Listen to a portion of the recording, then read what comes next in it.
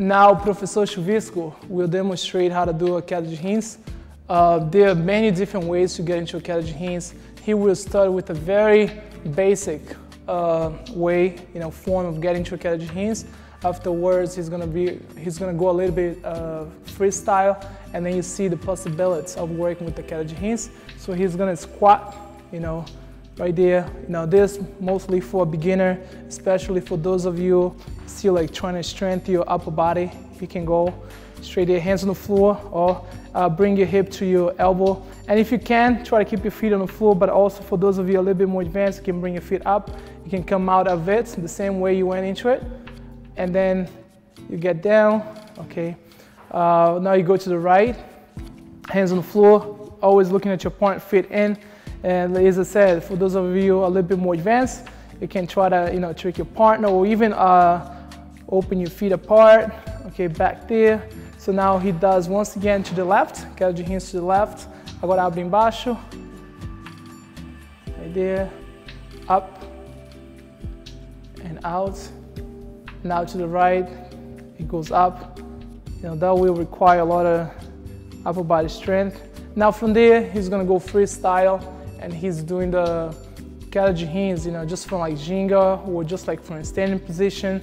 And now you will see that he's gonna be using some other movements like AU and or anything else. Okay, troca, negativa, S dobrado, de rins. You know, you can always go over, you know, control, you know, and come back.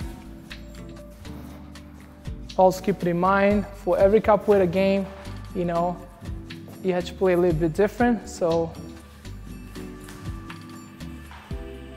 up there, get your hands falling to the right.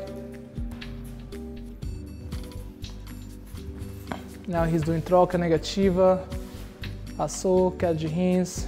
Now from there he can come out and he goes back into ginga. And that was a great demonstration right there.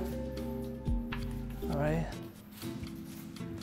switch, troca, S dobrado, queda de rins, can come out of it, back into queda de rins, negativa rolê, okay? For those of you uh, trying the queda de rins for the first time, don't, you know, try to do everything, you know, try parts of it and eventually try to blend all together. Queda de rins means in English, falling on your kidney. You know, usually you place your elbow pretty much like on, on, your, on your hip, but pretty much on your kidney, right there, you know, falling to each side, you know, and you control using your shoulder, your arms, you fall in there, come small, and then from there you push out of it.